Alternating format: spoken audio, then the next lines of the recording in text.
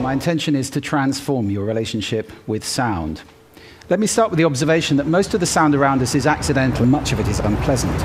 We stand on street corners shouting over noise like this and pretending that it doesn't exist. Well, this habit of suppressing sound has meant that our relationship with sound has become largely unconscious. There are four major ways sound is affecting you all the time, and I'd like to raise them in your consciousness today. First is physiological.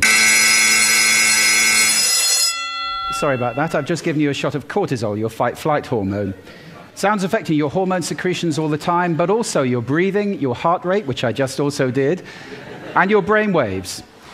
It's not just unpleasant sounds like that that do it. This is surf. It has a frequency of roughly 12 cycles per minute. Most people find that very soothing, and interestingly, 12 cycles per minute is roughly the frequency of the breathing of a sleeping human. So there's a deep resonance with being at rest. We also associate it with being stress free and on holiday. The second way in which sound affects you is psychological.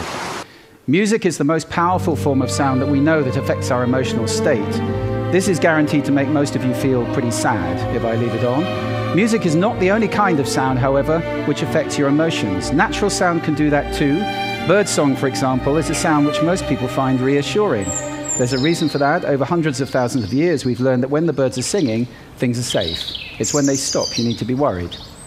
The third way in which sound affects you is cognitively. You can't understand two people talking at once, or in this track. case, one person talking Try listening twice. to the other one. You have to choose which me you're going to listen to.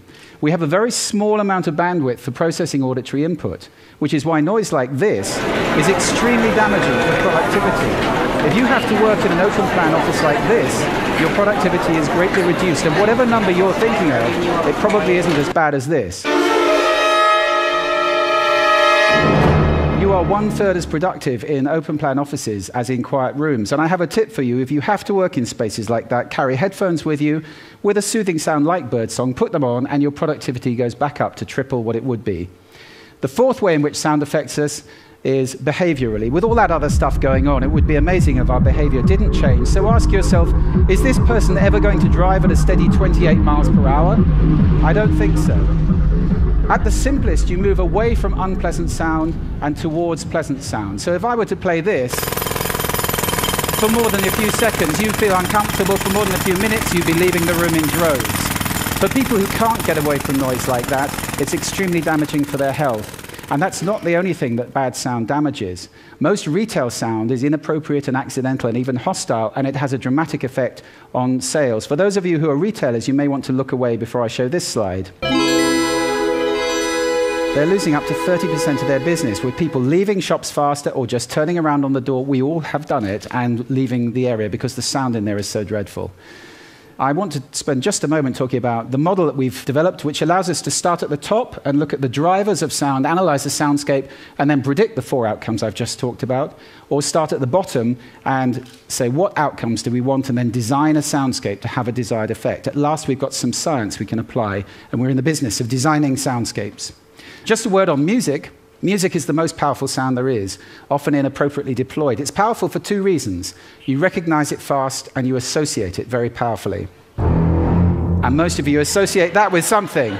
Now, those are one second samples of music. Music is very powerful, and unfortunately, it's veneering commercial spaces, often inappropriately.